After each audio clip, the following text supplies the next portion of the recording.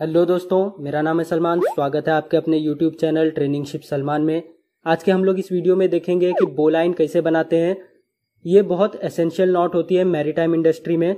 हर सीफेयर को ये नॉट बनाना आना ही चाहिए so without wasting time let start the video तो दोस्तों, ये हमारा रोप है।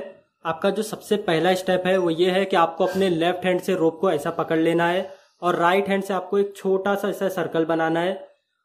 और जो रोप का एंड है रनिंग एंड उसको आपको इसके नीचे से ऐसा पास करना है और फिर इसके पीछे से आपको पास करके वो जहाँ से रोप आया था वहीं पे आप इसको ऐसा पकड़ लो।